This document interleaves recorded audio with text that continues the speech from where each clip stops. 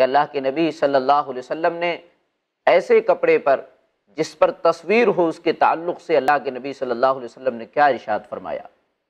نسائی کے اندر ہے حضرت علی رضی اللہ تعالیٰ عنہ، جو اللہ کے نبی صلی اللہ علیہ وسلم کے داماد ہیں فاطمہ رضی اللہ تعالیٰ عنہ اللہ کے نبی صلی اللہ علیہ وسلم کی سب سے چھوٹی بیٹی ہیں اور ان کی شادی حضرت علی رضی اللہ تعالیٰ عنہ کے ساتھ ہوتی ہے۔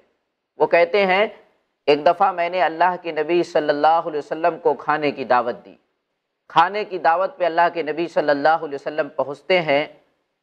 تو جب ہمارے گھر میں داخل ہوتے ہیں، تو آپ نے دیکھا ایک پردہ ہے، اس پردے کے اندر تصویر بنا ہوا ہے۔ پردے کے اندر تصویر ہے، اللہ کے نبی صلی اللہ علیہ وسلم لوٹ جاتے ہیں۔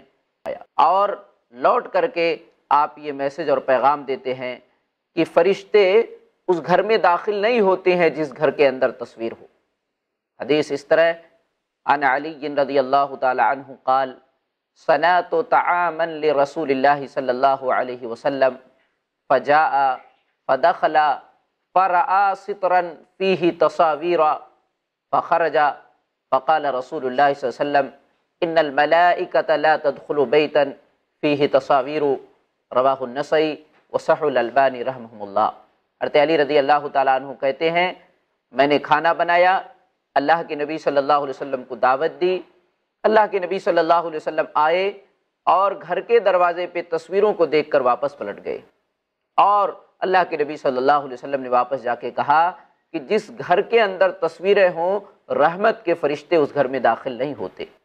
غور کریں، اندازہ لگائیں، اس حدیث سے پتہ چلا کہ ہمارے گھروں میں اگر اس طرح کی تصویریں ہیں تو یقیناً ہمارے گھروں میں رحمت کے فرشتے داخل نہیں ہو سکتے ہیں۔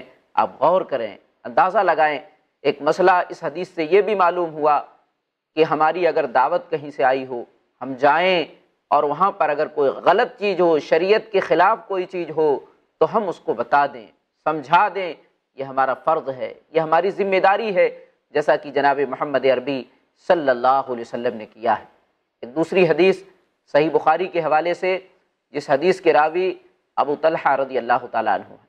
اللہ کے نبی صلی اللہ علیہ وسلم نے شاد فرمایا، عن ابی طلحہ رضی اللہ تعالیٰ عنہ قال قال النبی صلی اللہ علیہ وسلم، لا تدخل الملائکة بیتا فیہ کلب ولا تصاویر اللہ کے نبی صلی اللہ علیہ وسلم نے شاد فرمایا، اس گھر کے اندر جس گھر میں کتا ہے یا تصویریں ہیں، اس میں رحمت کے فرشتے داخل نہیں ہوتے یہ صحیح بخاری کی روایت ہے۔ غور کریں آپ، اللہ کے نبی صلی اللہ علیہ وسلم نے ایسے کپڑے جس میں تصویریں ہیں، ہمارے گھروں میں پردے کے طور پر استعمال ہو رہے ہیں، اس سے منع کر دیا ہے۔ ایسے کپڑوں کو پہن کر کے ہم نماز میں جائیں۔ اللہ کے تقرب کا سب سے بڑا جو ذریعہ ہے، اس کو اپنانے کے لیے جا رہے ہیں، اس کو ادا کرنے کے لیے جا رہے ہیں۔ اور اس طرح کا لباس پہن کر کے جائیں، اندازہ لگائیں، غور کریں کہ اللہ کے نبی صلی اللہ علیہ وسلم نے جب گھر میں رکھنے سے منع کر دیا، پردے کے طور پر استعمال کرنے سے منع کر دیا، تو ہم اس کو نماز کے لیے کیسے پہن سکتے ہیں؟ یقیناً ہم اس کو نہیں پہن سکتے۔ ہیں اور اللہ کے نبی صلی اللہ علیہ وسلم نے ریزن اور سبب بھی بتا دیا کہ یہ رحمت کے فرشتے جس گھر میں تصویریں ہوتی ہیں، اس گھر میں داخل نہیں ہوتے ہیں۔ گویا کہ اگر ہم اس طرح کے لباس پہن کر کے اللہ کے گھر میں آتے ہیں، گویا کہ ہم رحمت کے فرشتوں کو باقاعدہ دور کر رہے ہیں۔ رحمت کے فرشتے جو آپ کے آگے پیچھے رہتے ہیں، اللہ کے گھروں میں رہتے ہیں مسجدوں میں رحمت کے فرشتے ہوتے ہیں، اس موقع پر ہم اس طرح کا لباس پہن کر اتنی بڑی گستاخی اور خطا کر رہے ہیں۔